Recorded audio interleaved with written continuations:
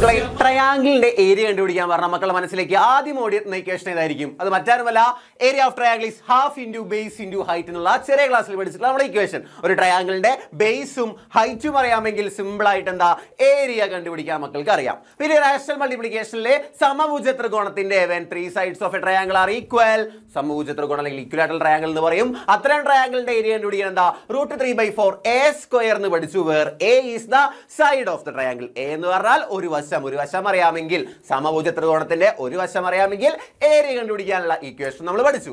അങ്ങനെ ഇരിക്കുമ്പോഴാണ് നമ്മൾ റാഷണൽ മൾട്ടിപ്ലിക്കേഷന്റെ അവസാന ഭാഗത്ത് ഒരു ചങ്ങാതിയുടെ കടന്നു വരവ് അതാരാണ്?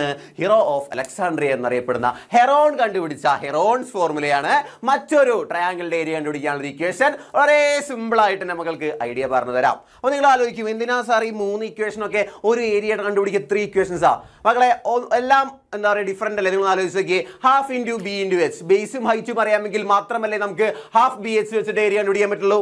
ഈക്വൽ ട്രയാങ്കിൾ ആയാൽ മാത്രമല്ലേ root three by four A square വെച്ചിട്ട് ഏരിയ കണ്ടുപിടിക്കാൻ പറ്റുള്ളൂ. നേരെ മറിച്ച് നമുക്ക് എന്റെ ട്രയാങ്കിൾ ഇങ്ങനെയാണെങ്കിലോ എനിക്ക് ഒരു ട്രയാങ്കിൾ അറിയാം. അതിന്റെ സൈഡ്സ് ജസ്റ്റ് നാല് ആറ് എട്ട് അങ്ങനെ ഇരിക്കാം അപ്പോൾ ഇവിടെ എനിക്ക് ഹാഫ് ബി എച്ച് അപ്ലൈ ചെയ്തിട്ട് ഏരിയ കണ്ടുപിടിക്കാൻ പറ്റുമോ? പറ്റില്ല. കാരണം എന്താ? ഹൈറ്റ് അറിയില്ല. ഇവിടെ എനിക്ക് root three by four A square apply ചെയ്യാൻ പറ്റുമോ? പറ്റില്ല. കാരണം എന്താ? ഇത് സമഭുജ ത്രികോണമല്ല അത്തരം സാഹചര്യങ്ങളിൽ നമ്മൾ ഏരിയ കണ്ടുപിടിക്കാതിരിക്കാൻ പറ്റുമോ? ഇതിനെന്താ ഏരിയ ഇല്ലേ? ഇതിനെന്തായാലും ഏരിയ ഉണ്ട് അങ്ങനെ ഏരിയ കണ്ടുപിടിക്കാനാണ് നമ്മുടെ പാവം ഹെറോൺ ചേട്ടൻ കണ്ടുപിടിച്ച ഒരു ഇക്വേഷൻ ആണ്. ഹെറോൺസ് ഫോർമുല എന്താണെന്ന് സിമ്പിൾ ആയിട്ട് പറഞ്ഞുതരാം. Area A is equal to root of S into S minus A into S minus B into S minus C simple ആയിട്ട് പഠിക്കാം.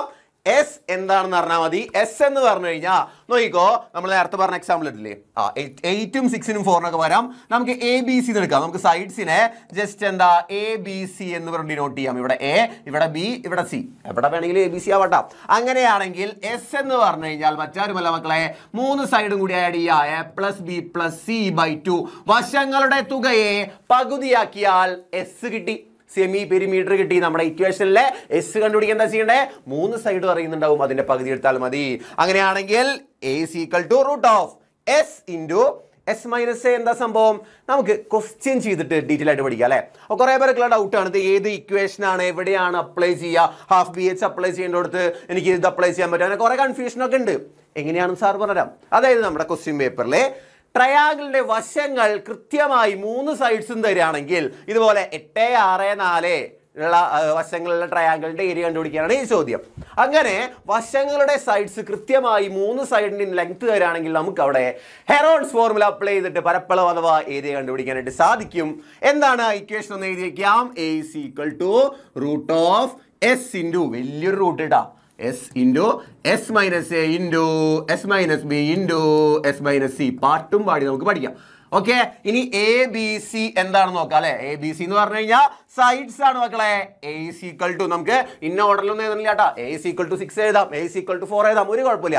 സാർ ഇപ്പൊ തന്നിരിക്കുന്ന ഓർഡറിൽ A B C എഴുതാണ്. So A equal to eight centimetre B equal to six centimetre C equal to four centimetre എങ്കിൽ മക്കൾ ആലോചിച്ച് നോക്കിയേ എന്റെ എസ് ഐ കണ്ടുപിടിക്കുക?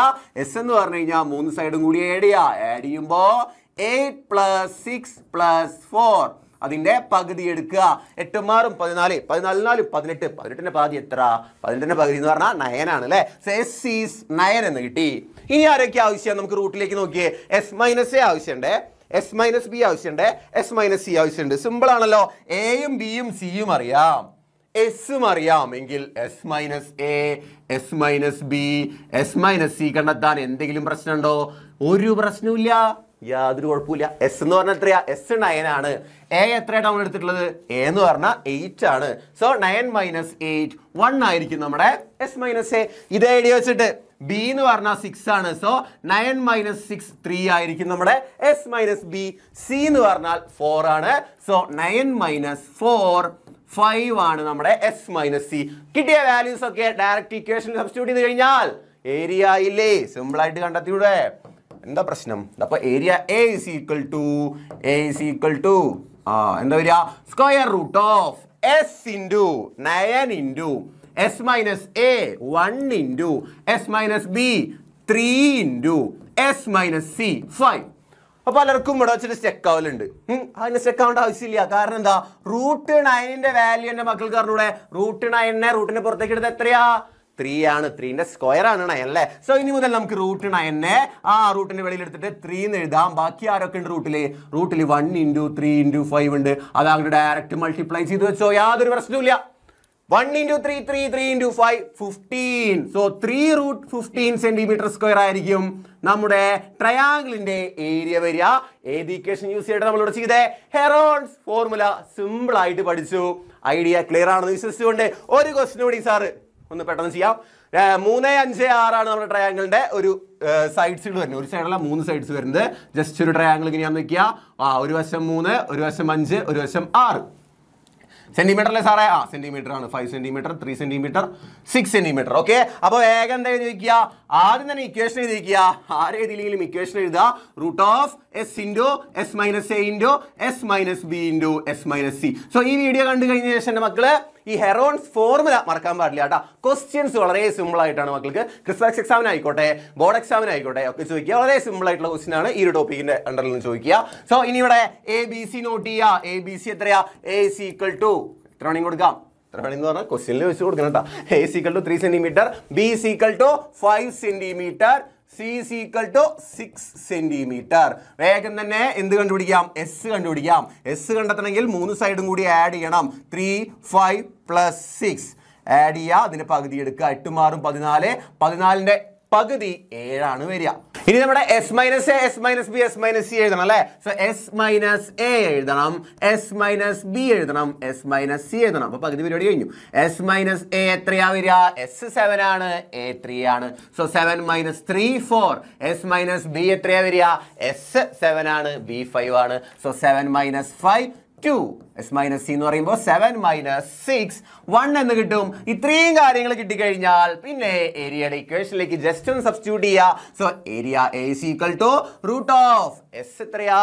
ഇവിടെ എസ് ഇതാ seven seven into seven minus three നമുക്ക് ഫോർ കിട്ടിയിട്ടുണ്ട്. അതായത് S minus A S minus B എന്ന് പറഞ്ഞാൽ ടു ആണ്. എസ് മൈനസ് സി എന്ന് പറഞ്ഞാൽ വൺ ആണ്. കറക്റ്റ് ആൻസർ സാർ ഇപ്പോൾ ഇവിടെ എഴുതുന്നില്ല.